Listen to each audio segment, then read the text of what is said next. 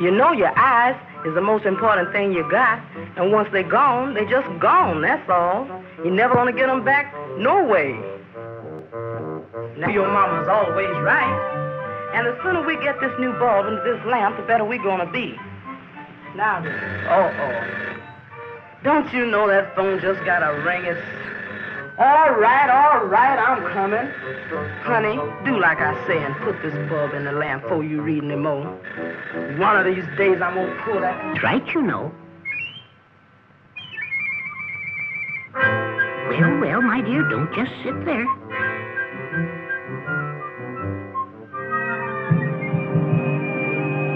Go help! My glasses. Steady now, steady. Careless children. Ouch! Young lady, you should be more careful. Glass, you know, light bulbs made of glass, my dear, should be treated with respect. However, no real harm done. None at all. Our glass is made very strong and tough. Oh, allow me to introduce myself. uh, Professor J. Lumen Lightly, Ph.D., G.E., President of the Little Men's Chowder Marching and Lamplighting Society. Sir? I'm I'm Nancy. Fine, fine. Excellent name, excellent. Oh, uh, pardon me a moment while I generate.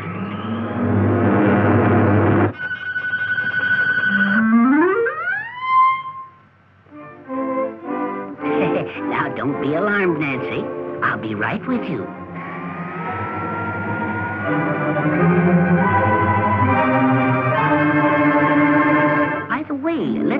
This book is so interesting that it kept you from putting in the new bulb. Oh, Fairy Tales of the Ages. Ah, very commendable, very commendable.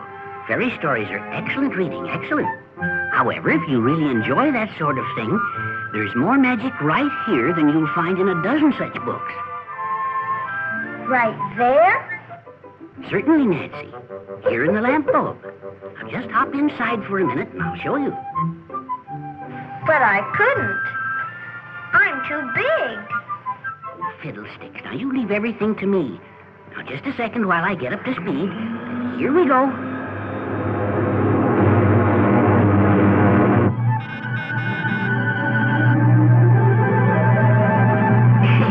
well, I see you made it. Now for the real magic. Just look at that filament, that curly wire in front of you that looks like a big spring. It's the heart of the lamp, so to speak. And remember that you're only about two inches high at the moment. Actually, this filament is only five-eighths of an inch long.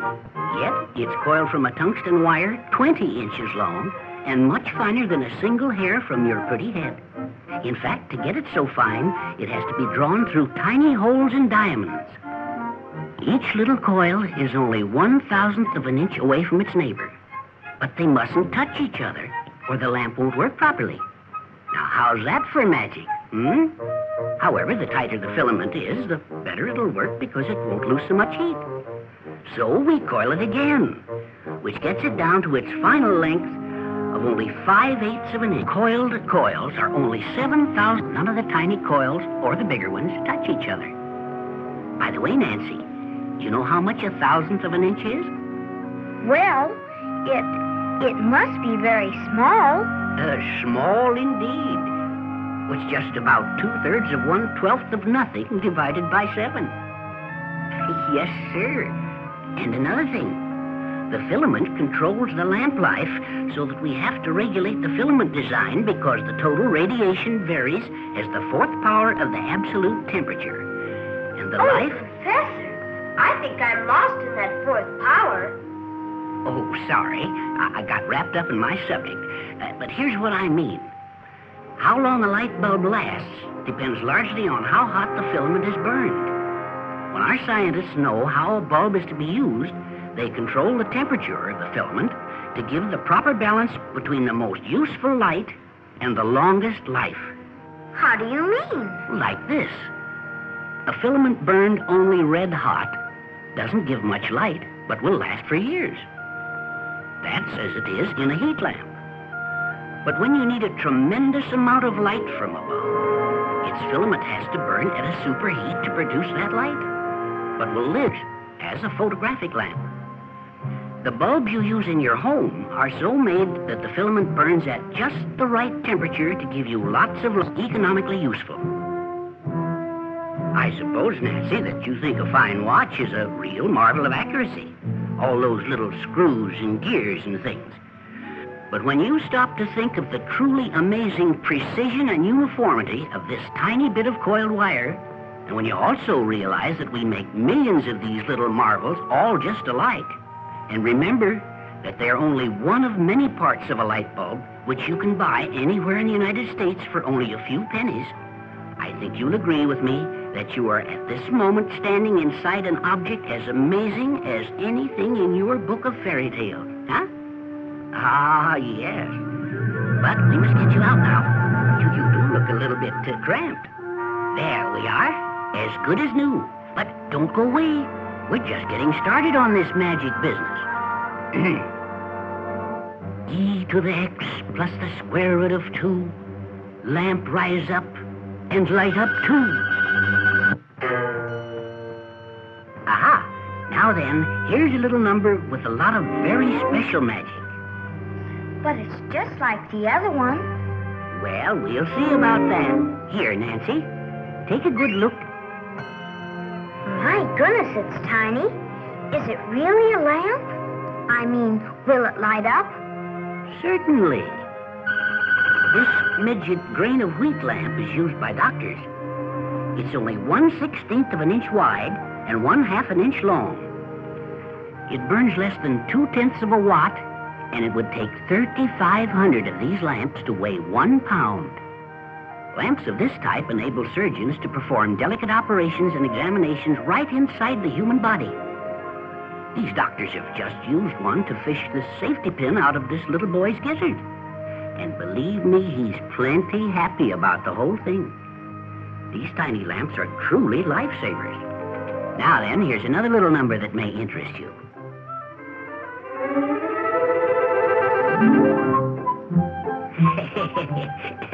Surprised you, eh, Nancy? Never underestimate the old professor. Well, well, go ahead. Pick it up and look it over. That's a 50,000 watt bulb. But this one lamp uses as much electricity for light as the most powerful radio stations use for broadcasting. Why, the pound and a half of tungsten in this lamp would make filaments for 21 million grain of wheat lamps. Well, Nancy, you've seen the smallest and the largest light bulbs in the world. That gives you some idea of the extremes that we go to to give folks the kind of light bulbs they need. Now I want to show you a few of the thousands and thousands of shapes and sizes in between. Because there's magic in every one of them, too. Now, here's a bulb that has a built-in reflector to put lots of light just where you want it. The bulb itself is made with a special reflector shape.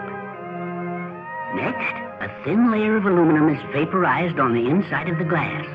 The bulb is then filled to just the right level with an acid which eats away the aluminum coating from the front of the bulb. The acid is then taken out and the bulb washed and dried, leaving the reflector part shiny and the front section clear. Bulbs of this type have a multitude of uses for flood and spotlighting. And when made of extra hard glass, they serve outdoors as well. Now, the same bulb with a different filament gives us infrared heat radiation to take the aches and pains from sore and tired muscles. The same radiation that cuts down the time of many drying tasks from hours to minutes. Still another use of this bulb shape gives us an entirely different reflector lamp. It is the sun lamp, which is rich in vitamin D and provides us with tanning ultraviolet radiation of nature's sunshine. Today, these three lamps bring the light, warmth, and health protection of sunlight indoors whenever and wherever we want it. Now we come to one of the most revolutionary lamps ever developed the all glass sealed beam headlamp that never grows dim. Your daddy has them on his new car, Nancy. And he'll find that right up to the end of its long, useful life, the lamp will be giving as much light as it did the day he bought his car. This is possible because the entire headlamp is a one-piece unit. The accurately molded reflector and lens are made of rugged, hard glass and are fused together so the dirt and moisture can never enter to affect the mirror-like built-in reflecting surface. The whole thing is one big light bulb. You see, Nancy, old-type headlights were made of separate parts. Lens, reflector, bulb, and gasket. And after a short time, the bulb got black, dirt and moisture tarnished the reflector, and cut the light way down, in half in many instances. Yes, in the old days, your dad's headlights were pretty difficult to drive behind. But now he can see comfortably and drive with much greater safety. He gets new car lighting always. The same revolutionary principle has been applied to many other types of lamps, such as the airplane landing light and the locomotive headlamp, which certainly have to be brilliant and dependable. Goodness, Professor Lightly, I never realized there were so many different kinds of such important light bulbs. That's true, Nancy. When most people think of light bulbs, they think only of the bulbs they use in their homes.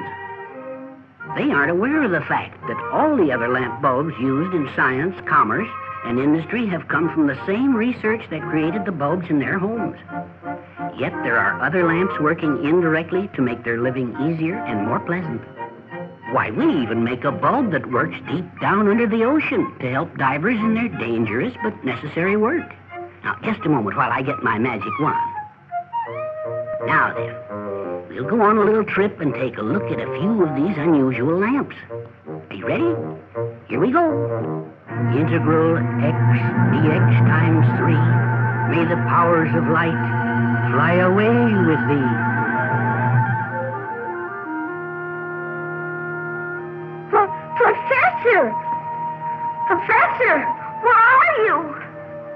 Here, Nancy, right here. Don't be frightened. All right, you, break it up. Now then, right over there you can see one of our underwater lights being used. That diver's recovering valuable material from a sunken ship, and he needs plenty of good, reliable light to work with. These diver's lamps are made to stand the water pressure down to 600 feet. You know, seeing that lamp shining out underwater reminds the old professor of something interesting about all light bulbs, which is that they must be very, very dry inside. Why, the inside of your regular house bulb is drier than the Sahara Desert. We have to make it that way because even the tiniest bit of water in a bulb will cause it to blacken before it should. Why, even one drop of water divided among one half million lamps would make every single one turn black too soon. Now, just another example, Nancy, of the care it takes to make a good light bulb. A light bulb that costs only a few pennies. The same attention to detail that enables our diver friend to carry on his difficult and dangerous work. It's, it's all wonderful and exciting, but it's sort of cold and damp and... Absolutely right. I'll have you out of here in a jiffy. Let A equal Z in the cube root be found. Light take us deep down under the ground. Here we are, my dear. Cozy, isn't it? Yes, it is a little better than the bottom of the ocean. Why, certainly. Now look at those miners, busy as bees, not a bit worried. Now then, notice the lamps on their hands. That's what I particularly wanted you to see here. In the old days, miners used lanterns burning oil or gas, but they didn't give much light and they were dangerous. So we developed a special lamp bulb which uses a very rare and expensive gas called krypton because it makes them give more light. And since the miners have to carry their own power supply, they need bulbs that give as much light as possible. Saving lives, making work easier, that's our job. And speaking of safety reminds me of something else about our old friend, the 60 watt house bulb. Safety is built right into it, too. Every light bulb of 40 watts or more, used for general lighting, carries its own fuse. In older type lamp bulbs, which had no fuse, electricity might jump between the wires, causing an arc which would break the bulb. To prevent this, the lamp fuse was developed. The lead wires of the bulb are different. One's a copper wire, the other is a much finer special alloy wire. It is the fuse. Now, in this modern bulb, the fuse air burns out and so stops the arc before it has a chance to break the bulb. It's just another example of the kind of thinking constantly used to make more and better lamps at lower cost, whether they're for a miner working a mile underground or for a pilot in a plane in the sky. I think it'd be fun. I. All right, and we might just as well pick up your easy chair so you feel comfortable. y plus z times 2x squared. Light fly us high, fly us through the air.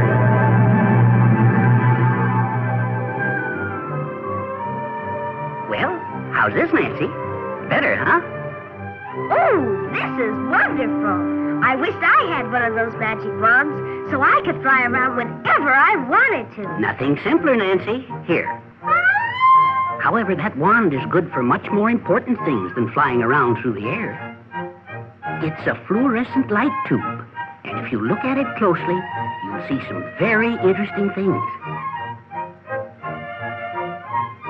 In the first place, the fluorescent lamp makes its light in an entirely different way. It is called an electric discharge lamp. In the filament lamp, the electric current moves through the wire filament, heating it white hot and making the light. In the fluorescent lamp, the electricity travels through the gas inside the tube instead of through a filament. In simplest terms, a fluorescent lamp is made of a glass tube. Sealed in each end are wires called electrodes. The tube is filled with argon gas and mercury vapor and is coated on the inside with a thin layer of fluorescent powders called phosphors. Electricity flowing from one end of the tube to the other causes the mercury vapor to produce invisible ultraviolet energy. When this ultraviolet energy strikes the fluorescent coating on the inside of the tube, it is transformed into light. There are a million ways to make this fluorescent tube, but there's only one combination of these elements which is the best. Also, great precision through mass production has created the most efficient and economical light source yet developed by man. Come along and we'll try a little magic with your new wand. There is a factory that looks as though it could use a little light. Ah, yes, just as I thought. You see, Nancy? These workmen do not have enough light. Bad lighting is the poorest economy possible. More products are discarded. The working men are easily tired. There are more accidents, and the work in general is slower and less efficient. Point your magic wand at the building and see what happens. Aha, that's the ticket. In well-lighted shops, the workers can see what they are making. Products are better, made with greater speed, and at lower cost. Office work, too, is less expensive and more accurate. Oh, yes, Nancy. This fluorescent wand of yours gives better living to lots of people because it makes their work easier. This is especially important in schoolrooms. Inadequate lighting must be replaced, for above all, we want plenty of good light for the young eyes of children. Of course, to make it comfortable, we'll have to shield the brightness of the tubes. There. Now, that's what I call real magic, useful magic. And that's just one of the many ways a class can be relighted. Now the students will do better work, learn more, and enjoy doing it. Ah, when it comes to study, Nancy, there's nothing like throwing a little light on the subject. We've brought more enjoyment and comfort to grown-up eyes, too, by bending our magic wands into circles. We call them fluorescent circlines. They give abundant light that is smooth to look at and to see by. And speaking of eyes, I believe I see trouble approaching. Yes, definitely. Airborne disease germs. Oh, you better let me take the magic wand. These fellows may be too much for you. I'll just change the glass so that the ultraviolet can come through. Here we go. P times Z plus ultra V Rays destroy the evil I see.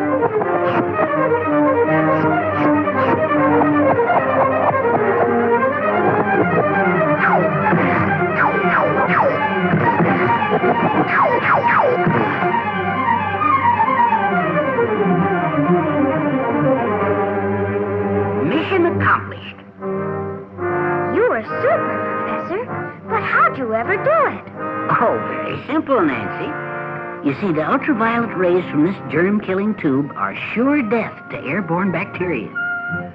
Why, only two of these lamps in a schoolroom will purify the air as effectively as cross ventilation, which completely changes the air every minute. These lamps can also be installed in air conditioning systems of large buildings to free the air of germs and protect the health of the workers. Well, Nancy, you've had a lot of excitement for one trip, huh? Oh, yes. But I think you've had about enough for your first adventure with lamp magic. So hold on. We've followed your wonders near and far. Now, light, take us home. Well, here we are. My, you certainly do get things done in a super hurry, Professor. I've always believed in action instead of talk, Nancy. It's almost a rule where I come from. Where do you come from, Professor? You would never have told me, you know. How careless of me. I'll do better than tell you. I'll show you my home. Here. Slip these on for a moment. But, but they're so tiny. Are you sure, my dear? Well, well, don't sit there gaping. Put them on. Ah, fasten the ribbon so you won't break them. My only pair, you know. Now then, as soon as we get the magic sphere in focus. Ah, here it comes. There we are.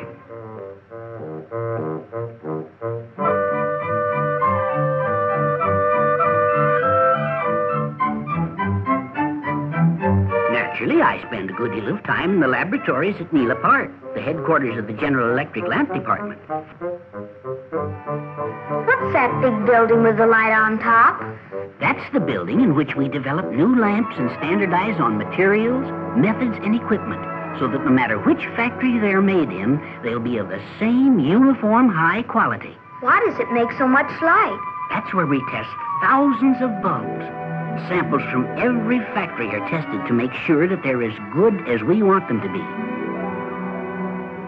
Each one of the thousands and thousands of lamps tested is given a number when it comes into the testing room.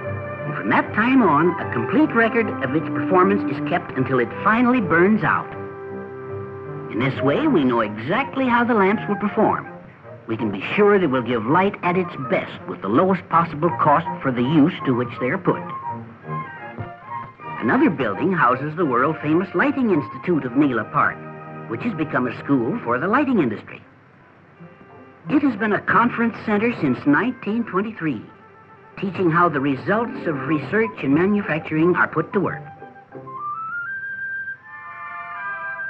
Here, every imaginable kind of lighting is studied, from store windows designed to attract trade and sell goods, to sun decks for health and relaxation.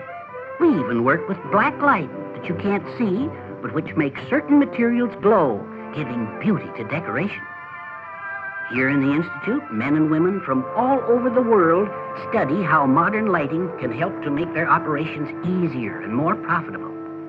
On an average, 30,000 of them come to the Institute every year. You know, Nancy, when you stop to think what our life would be like without light, you begin to realize the marvels of some of the things that we've been looking at. Light really is magic, isn't it, Professor?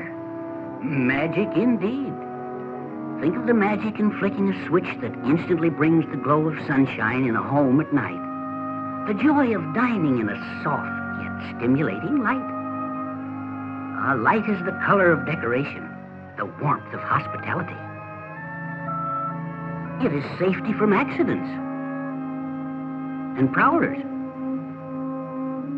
Getting the family's meals day after day is a task, but it's a lot easier and more pleasant with good light. Glare-free and shadowless light is the protection for young eyes that have so much to learn, for most of our knowledge comes through our eyes. Good lighting is the comfort and relaxation that turns a house into a home. Truly, there's almost no limit to the jobs light does for us. Tiny lamps are the indicators in the nervous system of our civilization and in our daily work. Giant lamps are the sentinels guiding our far-flung commerce in the air and on the sea. Light is a protector in the hands of law and order, a public safeguard, and aid to business. A helping hand on the farm. It is our friend in times of trouble and our comrade in times of joy. Exciting. Relaxing. Entertaining. Revealing. Life-giving. Yes, Nancy. Way of life could not exist without light. Standard of uniformity. An organization dedicated to the purpose of making a product that contributes to easier, more productive, and more pleasant living, and whose ideal has always been the fostering of intensive research to make lamps that stay brighter longer. Well, Nancy, it's been a real treat for the old professor to show you some of his magic lamps. But now it's time for him to go to work again. Production, you know. Research, efficiency, carry on and all that. Goodbye. Oh, uh, oh, my glass, my only pair, you know. But, but they're too big now. Tut tut now. Are you sure? Thank you, Nancy. Now be sure to put this new bulb in the lamp. And, Nancy, don't forget your old friend, the professor. But above all, never forget the importance of light. Thank you.